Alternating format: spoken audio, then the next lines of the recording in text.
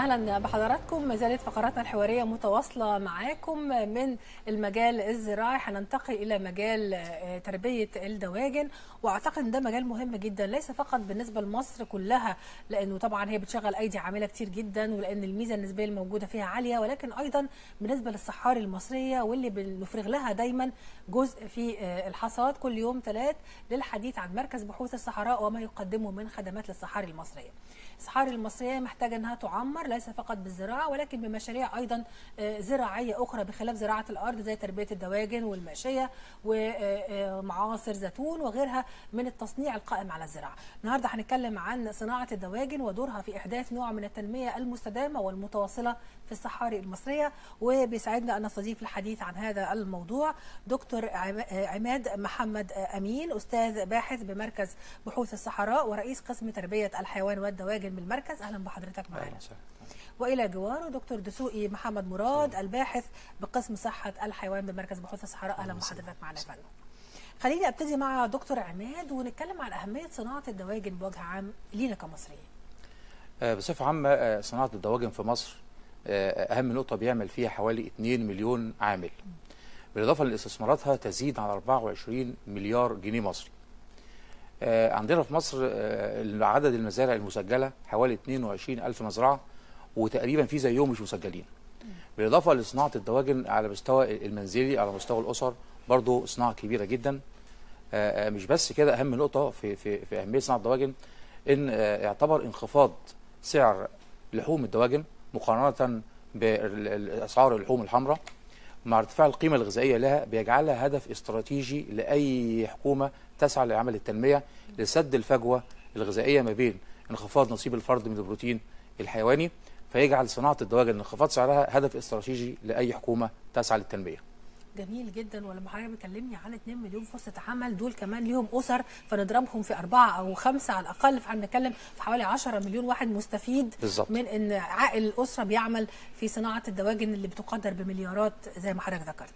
طيب يعني صناعة الدواجن هامة لكن في الصحاري أكيد في بعض المشاكل اللي ممكن تقابل صناعة الدواجن. إحنا عارفين قد إيه الجفاف والحرارة المرتفعة وغيرها من المشاكل الأخرى. إزاي ممكن نتغلب على المشاكل الخاصة بالبيئة الصحراوية وإحنا آه، بندعم صناعة الدواجن هناك؟ تمام. هو الحقيقة الصحاري المصرية الدولة بتتجه لها من سنة 2006 ولكن كان دايما يعوقها بعض الإيه أمور التنفيذية.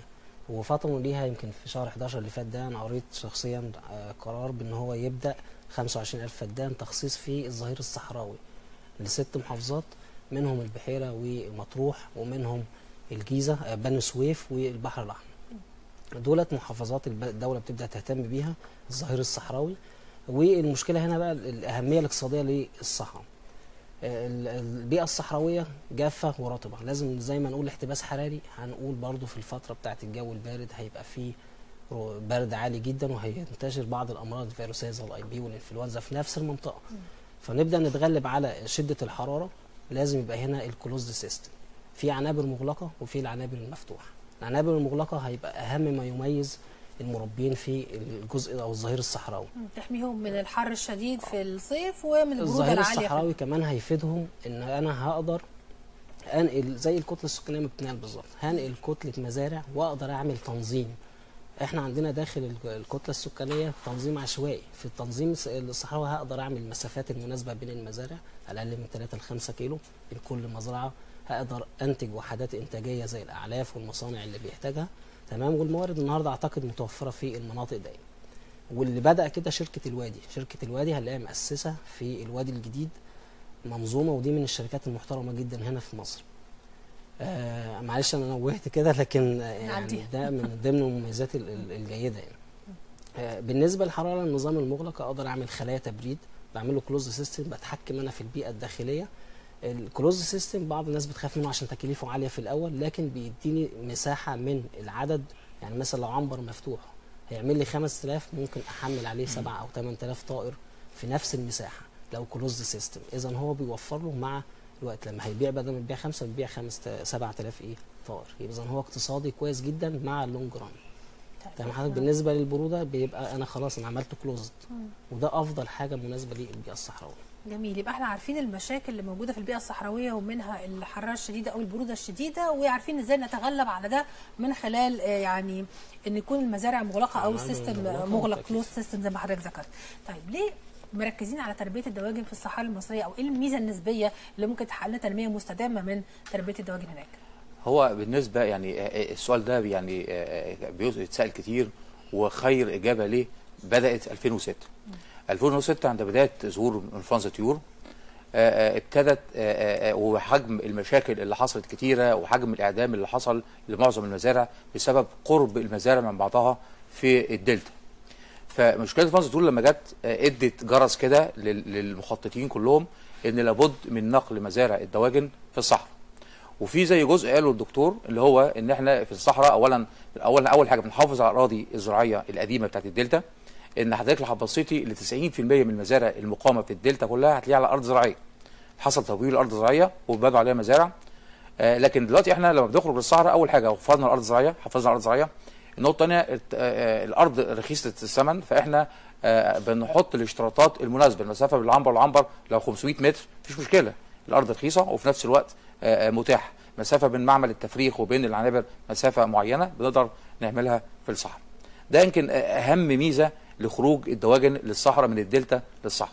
وبالتالي دي يعني هي هتمكننا من التغلب على على مشاكل العدوى الأمراض، بالظبط. وخاصة طبعا انفلونزا الطيور. بالظبط. اللي إحنا يعني بن- بنقلق منها جدا من آه، الوادي والدلتا.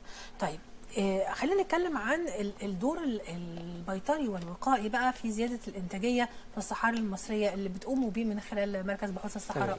هو والله أنا ملخصينها كده في ثلاث نقط مهمين جدا. اولا هي درايه الطبيب البيطري بالمواعيد الجيدة للبرامج الوقائية.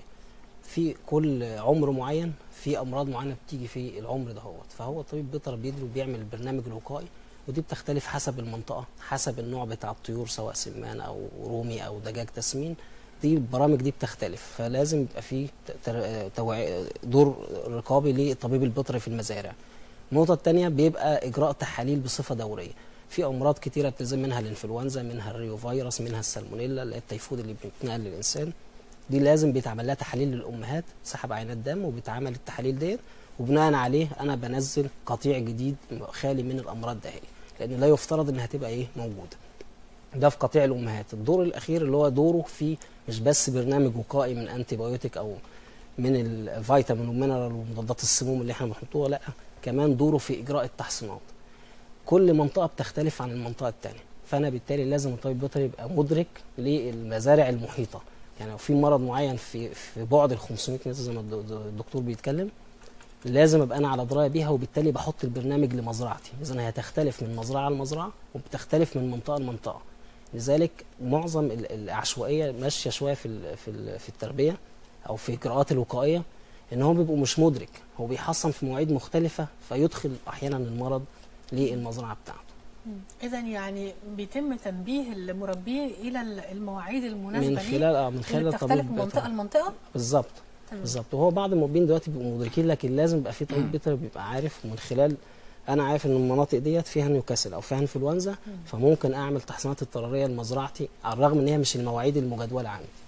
فالوعي الكامل للطبيب البيطري الوعي الكامل للمربي في إجراء التحصينات والبرامج الوقائية التحاليل الدايمة لقطعان الأمهات للسالمونيلا آه وال Reo والميكوبلازما والإنفلونزا بيكون مهم جدا عشان نتجنب وتفاداها في الأعمار الصغيره آه، دكتور آه، آه، عماد إحنا بنتكلم عن تنمية مستدامة ما بنتكلمش عن مشروع نعمله ويقعد سنتين ويخلص أو غيره. عايزين حاجة تخلي الأهالي اللي هينتقلوا إلى الصحراء مع ال- السكان الأصليين يعيشوا آه، يعني بدخل معقول وثابت إلى حد ما ويتزايد يعني. تمام. دور صناعة الدواجن في إحداث هذا النوع من التنمية إيه؟ هو هقول لحضرتك حاجة. هو هنا نقدر نقول إيه مميزات صناعة الدواجن عن باقي المشروعات الأخرى في التنمية؟ أيوه. آه، اولا صناعة الدواجن المفروض أي حكومة أو أي آه، حد بيخطط لمشروعات تنموية أو إقامة آه، مناطق عمرانية جديدة لازم يبدأ بمشروعات الدواجن لأسباب عديدة. وللأسف المسؤولين ما ياخدوش بالهم النقطة دي مش عارف ليه. يعني النهارده تبص تلاقي هو الأول بيبدأ باستصلاح أراضي ويعمل آه، أراضي زراعية وشق آه، ترع ومصارف وتكلفة عالية. ثم بعد كده يبتدي مربين بعد 10 سنين من من الأرض بتشتغل كويس معاهم يبتدي يبور جزء من عنبر دواجن وهنا دي بقى المشكلة. إحنا المفروض الأول أول حاجة لازم نبدأ بتنمية في الدواجن لسبب أول حاجة إيه هي؟ إن الدواجن آه، سرعه سرعه دورة رأس المال. يعني إيه النهارده إحنا عشان نبدأ تنمية حقيقية عشان المواطن يشعر إن هناك تنمية حقيقية لابد أن يحس بهناك تحسن في مستوى الدخل بتاعه أو مستوى المعيشة. طب عشان يحس يعني لازم في مشروعات تنموية سريعة يحس بالعائد بتاعها. أول حاجة هي الدواجن سرعه دورة رأس المال. يعني النهارده إحنا عندنا لو أي حد بنعمل مشروع تنموي مجرد ما اديله خلال 45 يوم هيبتدي يطلع إنتاج. أو خلال لو هيعمل مشروع تفريغ خلال 21 يوم هيعمل إنتاج. هنا طلع إنتاج إذا دخل حصل له دخل. دي ميزة وحيدة في مشروعات الدواجن سرعه دوره رأس المال. الحاجة الثانية إن مشروعات الدواجن ممكن تبدأ بأي رأس مال. لصغر الوحدة الإنتاجية يعني ممكن اللي هيبدأ على مستوى الأسرة المنتجة يعني حاجات صغيرة جدا. آه، مجرد بس إن شاء الله يبدأ ب 100 كتكوت لغاية عنابر متوسطة 1000 ل 5000 لغاية 100000 النقطة الأهم من كده إن مميزات مشروعات الدواجن في التنمية إيه برضه؟ إن هو آه، تنوع السلالات. الداجنه كلها من رومي وبط وفراخ وسمان وأرانب آه، آه، آه، يتيح فرصة إن ال- ال- الصنف أو السلالة اللي تنفع في وجه قبلي في عندنا حاجات تنفع في وجه بحري عندنا حاجات تنفع مثلا في وسط سيناء في شمال سيناء فده بيخلينا يشجع نبدأ بتربية الدواجن. ال- النقطة الأهم من كده برضو إن الد- الدواجن مش محتاجة نقطة مش محتاجة بنية تحتية كتيرة زي بقيه المشروعات يعني حضرتك أنا مثال وده كل الناس تعرفه إن أي منطقة صحراوية في مصر جبال أي حاجة لو في ثلاث شروط تتوفروا خلال 45 يوم هديكوا إنتاج. أول حاجة لو لو عندي طريق متسفلت ده أول حاجة. الحاجة الثانية عاوز مصدر مية شرب يا إما عن طريق آه النيل أو بحر فحر بير أو آه الله ترومبه حسب المنطقة كل منطقة لها طريقة معينة. ومصدر تيار كهربي. لو الحالات دول متوفرين في أي حتة حتى لو جبال هديلك إنتاج خلال 45 يوم. أنهي مشروع تنموي اللي ممكن يدي إنتاج خلال 45 يوم غير الدواجن؟ الحاجة الثانية برضو إن ميزة الدواجن بصفة عامة إن المواد اللي إحنا بنشتغل بيها ليس بالضروري تنتج في مكان المشروع. يعني لو عملت مشروع دواجن في بحري أو في الصحراء بجيب له الذرة والصويا والمركزات مش من المكان. يبقى بخش له من بره. إذا لو جبت بقول لحضرتك صحراء جبال بس توفر فيها في مصدر طرق إن أنا أوصل لها في مصدر مية في مصدر نور كده كده هجيب الكتكوت والعلف والأدوية من مصدر خارج المنطقة وهعمل تنمية خلال فترة بسيطة جدا. دي أهم ميزة لمشروعات الدواجن في المشروعات التنموية وزي ما قلت لحضرتك تبدأ على أي مستوى. إن شاء الله لو كل واحد 1000 جنيه للأسرة لغاية 10000 جنيه لغاية مليون جنيه هيبدأ يعمل مشروعات تنموية. جميل. لكن طبعا مش معنى كده إن مفيش تحديات أو مشكلات وبرده مش معنى وجود مشكلات إن إحنا ما نقدرش نتغلب عليها. يعني إحنا عايزين مع حضرتك يا دكتور دسوقي نستعرض بعض المشاكل والتحديات اللي بتواجه صناعة أنا عايز استاذن بس الدكتور عماد آه، بعد حضرتك برضو نقطة جميلة جدا ال fertilizer.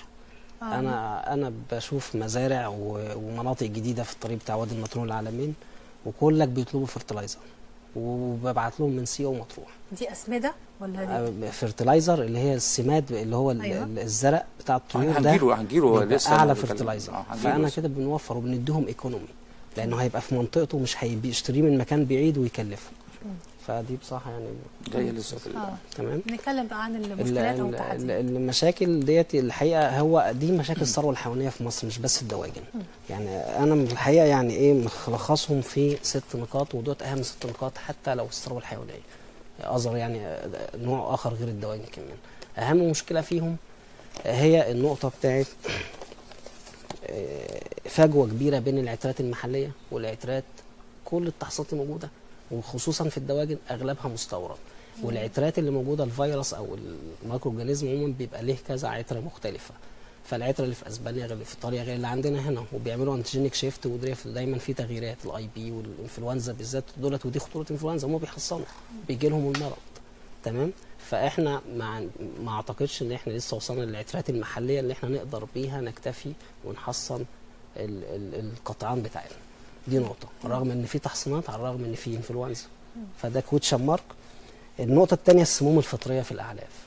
وديت يعني خامات الأعلاف معظمها يا سوء تخزين من عندنا أو استيراد خاطئ ايا كان الظروف السموم الفطرية ودي بتعمل مشاكل كبيرة سواء في الدواجن أو الاذر انيمالز أيضا من ضمن المشاكل هي عدم الدراية الكاملة للمربين.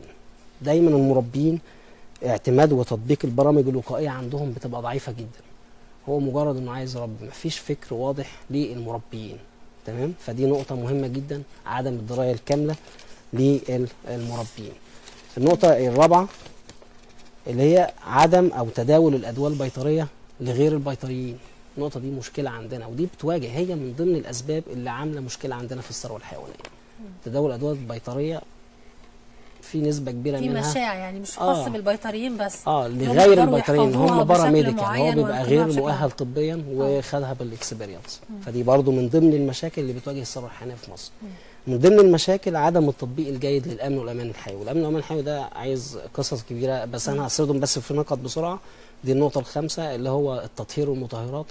هو بيستعمل أي نوع مطهرات لكن كل مشكلة في المزرعة زي ما إحنا قلنا إن كل منطقة لها مشاكل مختلفة. فبيبقى لها برضو نوع من المطهرات بتحتاجه خصوم مختلف عن المزارع التانية. تمام؟ فأنا عارف مشاكلي يبقى بالتالي بستخدم المطهر المناسب للمشاكل دي. طيب إحنا ما غير دقيقتين. أنا خلاص آه. لا لا التخلص من النفوق الحاجات اللي كلها بالحرق أو الدفن. من ضمن الأمن والامان الحيوي اللي هو ال- الـ dog stray dog وال- والقطط والفئران كل دي بتنقل الأمراض والناس بترمي النافق لها وتاكلها التهوية والأعلاف المتزنة تمام؟ آه، ده بالنسبة للأمن والأمان الحيوي. النقطة الأخيرة اللي هي الاشتراطات الصحية في إنشاء المزارع. برضو إنشاء المزارع أغلب برضو بيبقى فيه نسبة من العشوائية في اتجاهات الهواء وتيارات الهواء عمل عدم عمل مصدات هواء. دي كلها هي من ضمن الأسباب الرئيسية اللي بتسبب والأمراض تنتشر. دي الحقيقة يعني هنتكلم عنها بالتفصيل حكاية الامان الحيوي في أيوة، الفقرة أيوة، بس هي القادمة. نقطة من ضمن النقاط. فأحب أختم مع دكتور عماد يعني بكلمة أخيرة أو يعني معلومة أخيرة تحب تضيفها لنا فيما يتعلق بصناعة الدواجن ودورها في التنمية المستدامة. آه هو حضرتك برضه هندي مثال بسيط جدا. إحنا عشان نعمل تنمية سريعة هنبسط المسألة جدا. إحنا نفرض جدلا إن إحنا عندنا آه 1000 قرية. عايزين نعمل تنمية في 1000 قرية. ال 1000 قرية دول هتكون متوسط عدد الأسر مثلا 100 أسرة. أنا لو هدي كل اسره هعمل لها مشروع صغير في حدود 1000 آه، في حدود 10000 جنيه أصبح ال 10000 جنيه دول يدخلوا داخل الأسرة مش أقل من 1000 أو 1200 جنيه في الشهر. أنا ال 100000 أسرة دول هيكلفوني حوالي آه، مليار جنيه. تخيل حضرتك مليار جنيه ممكن أعمل تنمية في في حدود حدود 100000 أسرة. مش بس كده لو قلنا هتدخل للاسره حوالي 1000 جنيه أو 1200 جنيه اذا المليار جنيه دول إحنا جبناهم بعد سنة ثانية مليار و200 مليون جنيه. آه، النقطه الثانية باختصار شديد برضو اللي هو عبارة عن إيه؟ إحنا هنعمل حد هنديله معمل تفريغ صغير ايا كان حجمه من 500 بيضه لغاية 300 ألف حسب نوع نوع التنميه الموجودة. حد تاني هياخد الكتكوت اللي هيطلع هيعمل عنبر صغير يسمن فيه ده مشروع تاني لناس للتنميه في القرية. آه حد تاني مشروع تاني هياخد يعمل عنبر للبيض البيض التفريخ اللي هياخده يحطه في المكنة ده برضه قايم عليه. حد تاني هيعمل آه، عنبر لبيض الدجاج المائده بيض المائدة. ثم حد تاني هيعمل مصنع الاعلاف أو يخدم عليهم. ثم حد تالت مشروع تاني قائم هيعمل عيادة بيطرية يخدم على العنابر دي كلها. ثم حد تاني هيشتغل يبيع محلات بيع الإتجار في الدواجن. هنا يبقى إحنا عملنا تنمية مرتبطة كله بيشغل بعضه. ده بس باختصار شديد. صناعات تكاملية صناعات و- تكاملية. آه. حضرتك حضرتك تخيلي الوضع لو إحنا بدأنا في أي قرية عملنا كده الناس كلها اشتغلت. صحيح. وفي نفس الوقت حجم رأس المال قد إيه؟ أنا بقول لحضرتك قال 10000 جنيه. للأسرة هتعمل تدخله دخل زيادة 1200 1500 جنيه شهريا.